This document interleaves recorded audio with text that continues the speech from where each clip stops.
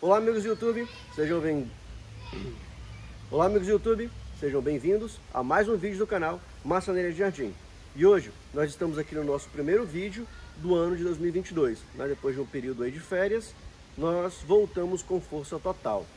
E hoje nós vamos gravar mais um vídeo para nossa série Orquídeas em Detalhes, onde eu procuro filmar algumas plantas que estão em floração aqui no orquidário na qualidade 4K.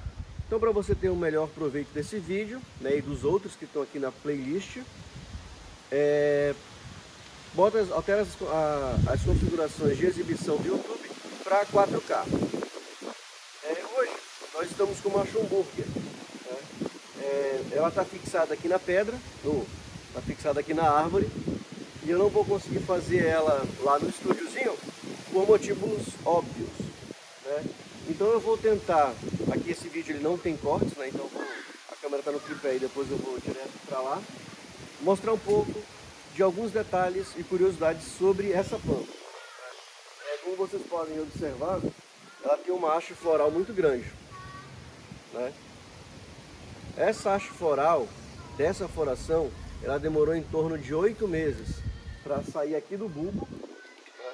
para ela começar a tomar tamanho até essa floração com essas flores bem diferentes, né? com as sépalas e as pétalas meio encrispadas. É, essa aqui é uma planta que ela tem todo o território nacional. Né? Essa aqui eu consegui de um amigo que trouxe da Venezuela. E pela, pela classificação que eu vi, ela é a gloriosa, né? no livro que eu consultei. Né? Essa gloriosa, ela tem aqui é uma, variedade, uma variedade verde e essa com os detalhes em rosa e roxo. Vamos aqui.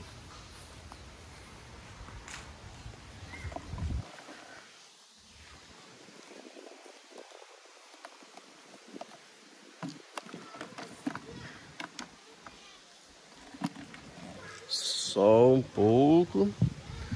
Bom, Aqui eu vou tentar mostrar um pouco dos detalhes das flores, né?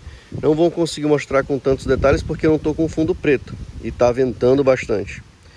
Mas aqui a gente já consegue ver, ó, detalhes das sépalas, das, das pétalas. É, é enrugadinho, né? Um detalhe da uma característica da planta mesmo, natural. Não é falta de, de nutriente. Ela tem essa cor lilás, é, um lilás aqui e um rosa. E essa parte dela que eu nunca tinha visto. Abrindo para vocês aqui, ó. Branco aqui em cima e amarelo ali no fundo. É, aqui eu tô com uma, duas, três, quatro, cinco, seis, sete, oito, nove, dez, onze, doze. Tô com 12 flores é, geralmente, o máximo que eu consegui de floração foram 22, né, e uma outra planta que eu tenho dessa. E olha só, para vocês verem aqui o tamanho da haste floral. É enorme. Imagina isso aqui, um monte dessas aqui. E aí vamos aqui, vamos aqui no detalhe da planta em si, né? É... Aqui é uma planta muito antiga, eu acho que é uma das primeiras que eu plantei. Eu botei nessa árvore aqui de pé, que está até florido. Já tem uns 6 ou 7 anos. Foi uma das primeiras que eu ganhei. Foi basicamente nela que eu iniciei o hobby. Né? Então pode ver aqui, ó, cada bulbo um ano, ela é bem velha. Né?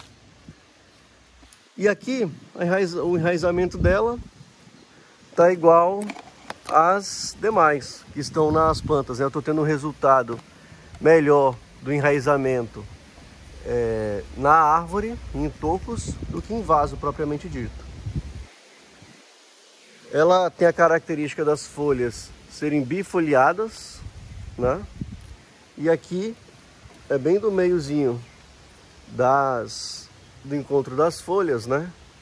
Da bifurcação, é que sai a haste floral. Né? Então, só para vocês terem ideia, né? mais uma vez, do tamanho dela. É, até a haste das flores, não sei se o nome disso aqui é haste, né? Haste da flor. Mas até a, o espaçamento entre a haste principal e a flor é longo. Aí fica muito bonito. E naturalmente ela fica assim, ó. Pendente. Aproveitar, olha só, olha o tamanho dessa haste, né? Começando aqui, desce e vai até lá embaixo. E aí aproveitar para finalizar esse vídeo, né, pra, pedindo para vocês comentarem, curtirem e compartilharem esse vídeo com seus colegas e amigos do Instagram e YouTube. E WhatsApp também. Um abraço e até o próximo.